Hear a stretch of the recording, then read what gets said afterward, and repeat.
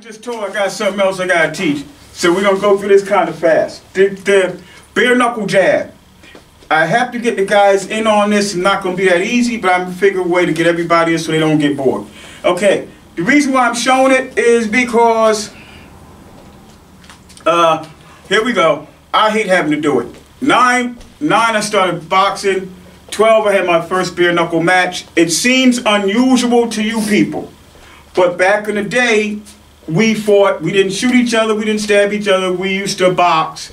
So it's not, it wasn't unusual when I was younger for a brother to see his friend, an older brother, to see his friend who has a, a, a younger brother like myself and pair them off. It was con very controlled, but I had my first bare knuckle match when I was 12, last one when I was 20. Okay, about seven altogether. And trust me, it's, it's, a, it, it's enough because you, you don't recover from it. I want to show you how to use a bare knuckle jab, okay? so, the next reason I'm doing is because a lot of people are doing it, and I don't, I don't spend time on YouTube trying to troll people, but if something is incorrect and dear to my heart, I need to change, I need to show how it's done. Okay, the way you jab, the way you have your hands depends on the damage you want to do. So, one way is to have your hands not fully clenched. You have air in them. Air. And this is when you have the air in your hands, okay, in your jab. They're not fully clenched. Now, let me slow down a little bit. With that, right, there's two ways that you want to punch. You will punch with a, a, a slightly clenched fist with your four knuckles here, or with the, the, the, um, the four, your four fingers together like this, this way, all right? Like this. What this does is it's not sharp, but it does create blunt force trauma. Okay, so each one get each one of these guys so you don't get bored. All right. My hand is not clenched. Now let me tell you why my hand is not clenched. My hand is not clenched because I'm trying to keep my hands on the person.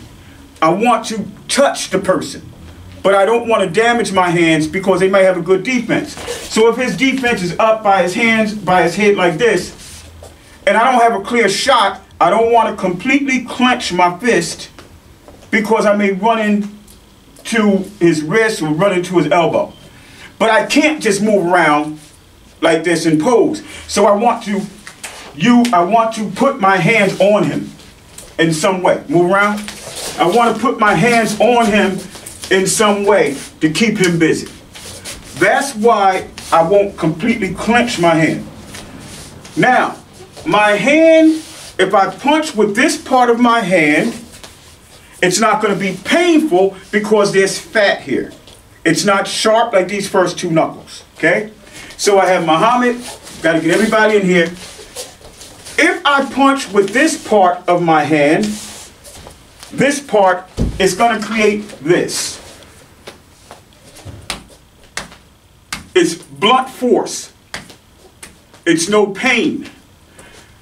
If I turn my two knuckles in with still a partially clenched fist, this creates pain. See the difference? There's a difference.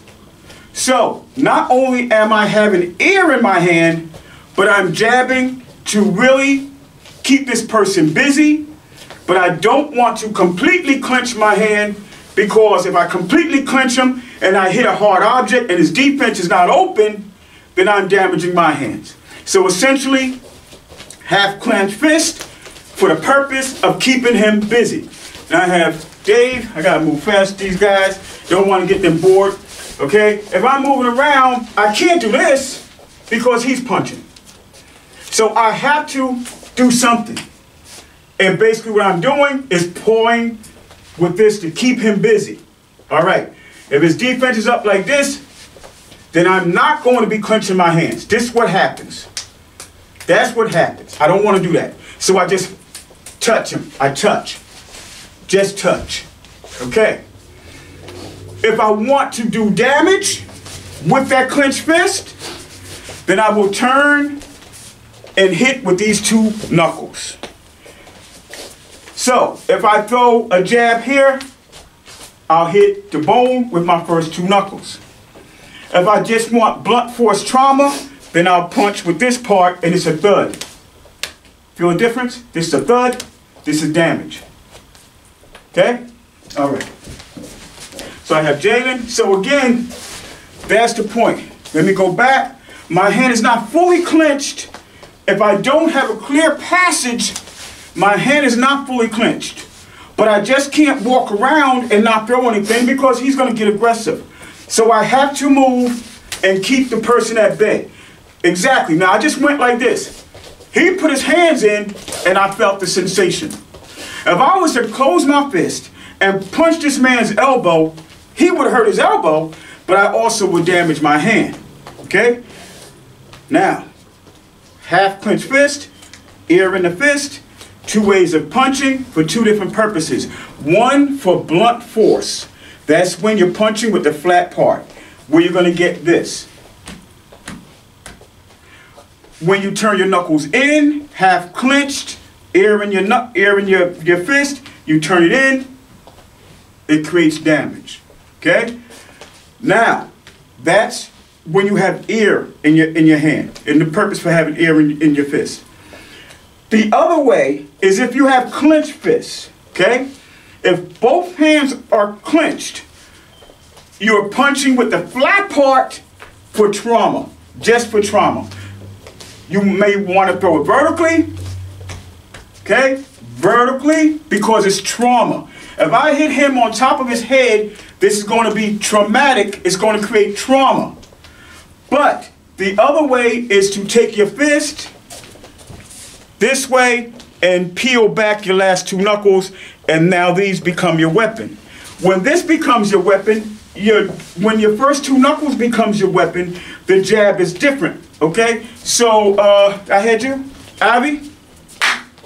We got Abby, our honorable guest, right? Okay. Now, if I have, if I peel back my knuckles, this is totally different. Now I have a target. I'm using these specifically for something I want to hit. So if I'm, if his hands are down and I want to cut, create a cut, right? Then that's when I use my first two knuckles and I turn them in to the eye. Okay?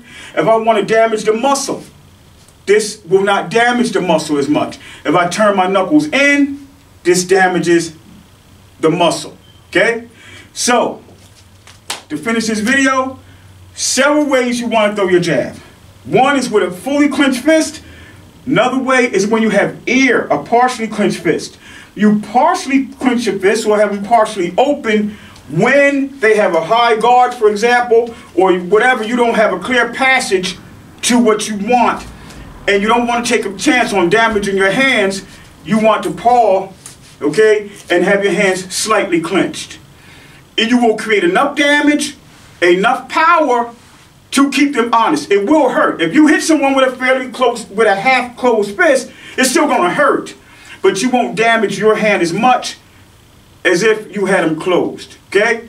The two ways you hit is one with these four four digits right here, but that will not cause pain. It will cause blunt force. It's blunt force. What causes pain and does most damage is your first two knuckles. All right? So, half clenched fist Uh, compared to a closed fist. Your four digits here, blunt force trauma. First two knuckles causes pain. All right? And you want to have an active jab. So if I'm here, we'll finish it up. Thanks, Abby.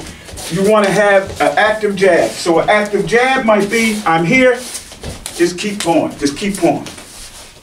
You want to be active. Slip, have them out, bang, bang. You jab and hook, jab and uppercut. All right? All this time, you see I'm hitting this, this guy's elbow.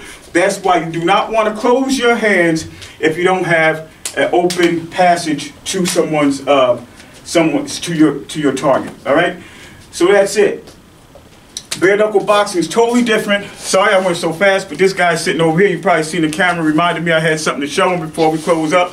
So if you got any questions, you can contact me, Ummah Camp at yahoo.com. See you next week.